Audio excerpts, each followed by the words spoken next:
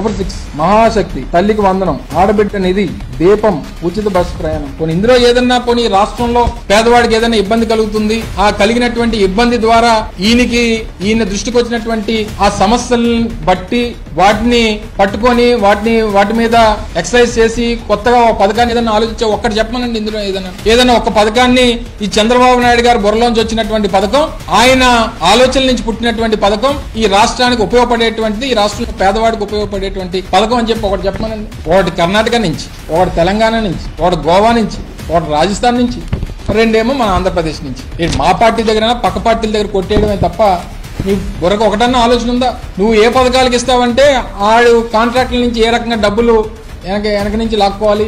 ఏ రకంగా అవినీతి ద్వారా డబ్బు సంపాదించాలి ప్రాజెక్టుల పేరు చెప్పి ఏ రకంగా డబ్బులు కొట్టేయాలి వీటి మీద ఇమ్మంటే నువ్వు బ్రహ్మాండమైనటువంటి స్కీమ్లు ఇస్తావు స్కాములకి నువ్వు పితామహుడివి నువ్వు నువ్వు స్కీములు ఏమిస్తావు చెప్పు. ఇటువంటి మోసాలు ఇంకా ప్రజలు చేసి ఇంకా మబ్బి పెట్టి ఇందులో అసలు వీరు మరి ఇక నుంచి రేపు మళ్ళీ ఇటువంటి దాంతోనే వస్తాడు. మళ్ళీ ఇలాంటి సంతకాలు పెడతాడు. దయచేసి ప్రజల్ని మోసపోవద్దని చెప్పి కోరుతా ఉన్నాం. ఇది వారి తాలూకా భవిష్యత్తు కోసం చేస్తున్నటువంటిది తప్ప ఈ రాష్ట్రంలో పేదవాడి కోసమో రాష్ట్ర ప్రజల కోసమో చేస్తున్నటువంటిది కాదు అనేటువంటిది ప్రజలు గమనిస్తారని చెప్పి కోరుతా ఉన్నాం. ఏదేమైనప్పటికీ ఆఖరిగా ఒక ప్రముఖ ఇంగ్లీష్ పత్రికలో వచ్చినటువంటి కథనం దాని మీద మీరు ఏదన్నా స్పందిస్తారా లేదా?